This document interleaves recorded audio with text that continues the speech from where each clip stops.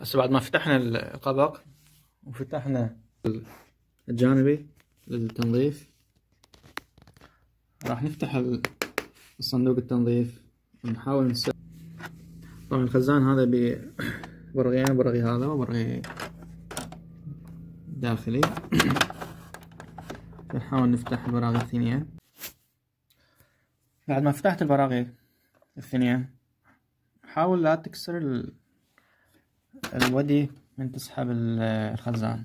من أكو بي يعني مثل الكبس من جوا ترفع عليه فوق وتسحب هذا هذا هاي القاعدة كيلة تسحبها عليك. لاحظ عزيزي بحيث ما تنكسر. الآن عندك هسه انفصل البادي الحافظ. بعد ما فتحنا الخزان راح نلاحظ مجموعة الأوراق المتطايرة. للأسفل هاي الوحدة من أدنى سبب لنا مشكلة بالانسداد الكارترج عند الحركة. فتخيل مدى الانسداد الموجود. أيضا المشاكل الموجودة اللي تلاحظ هنا أكو بقايا الورق هنا بقايا الورق. هنا بقايا الورق هنا كذلك. هذا هاي كلها تسوي لك مشاكل. تسوي لك مشاكل بالطبع. وتقلل الجودة. هسه راح نفتح هذا الخزان. هذا شكل الخزان بعد ما فتحناه. القاعدة مالته. تلاحظون إنه مليان يعني حبر تعبان.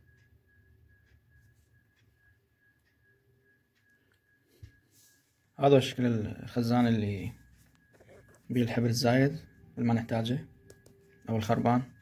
من خلال بعض منا نرستها من كذا. وتلاحظونه متروس. كذلك إحنا فتحنا لقينا الحبر هنا باقي بالتوب مالته. هذا يعني إنه هذا صارت ما تسحب الحبر. لذلك تحتاج تنظيف.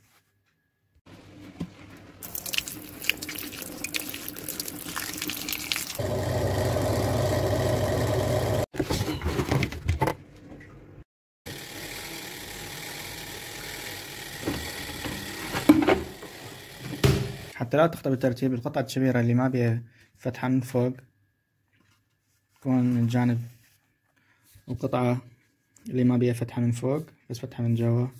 الصغيرة تكون من الجانب الآخر. طبعا بالنسبة للطابعة إبسون ثلاثة آلاف خمس ثلاثة آلاف ومية وعشرة.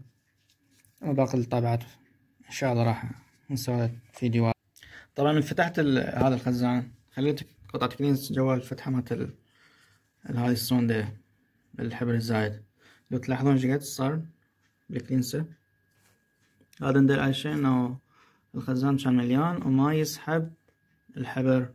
لذلك بقى بالسوندة وظل يأثر على جودة الطباعة.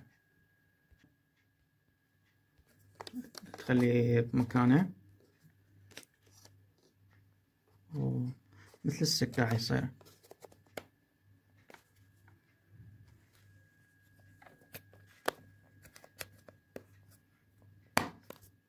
انتهت تنظيفه. نرجع نشد البراغي مثل ما فتحناها بالسابق.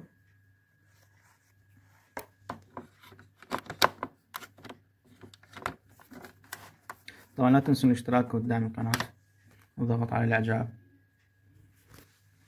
طبعا نظفنا كذلك الإسفنجة هذه وهذه هذا المكان. نفس الترتيب هم تفتحها وتغسلها وتخليها بالمنشف. وإذا كان عندك جو حار فخليها برا شوية نص ساعة وتنشف.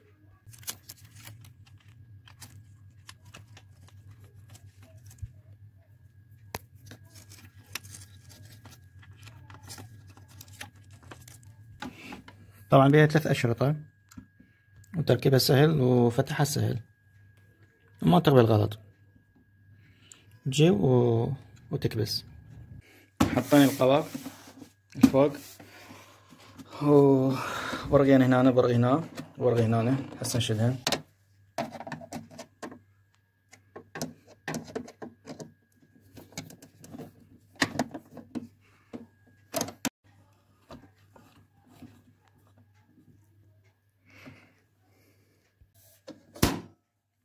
كملنا الشد نظفنا الخزان نظفنا الأتربة والقطع الأوراق داخل الطابعة.